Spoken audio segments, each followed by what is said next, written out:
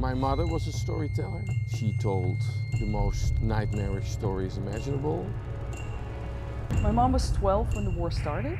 She came home one day when she was 14 and the house was empty. Everybody was gone. They saw a white star on that tank and on the helmet of the soldier. Then they understood these were not Germans, and those turned out to be Americans. Mr. Hi. Towers, How are you? thank you.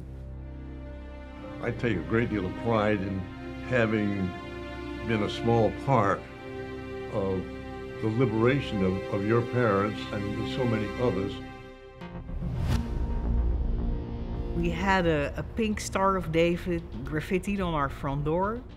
There were more gay couples in the building, but no Jewish couples.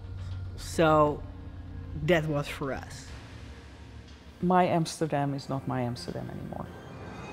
I was literally walking outside this house, and all of a sudden I see this gigantic crowd, and I hear them yell, Hamas, Hamas, Jews to the gas. Last year there was a demonstration of IS. Europe is really rapidly going uh, down fast. But now we start to see ominous and familiar warning signs in America. The overwhelming wave of it came during the last election cycle from the so-called alt-right, a bunch of people who think the Jews are undermining uh, the white Christendom of the United States. It's very difficult nowadays to show your Jewishness.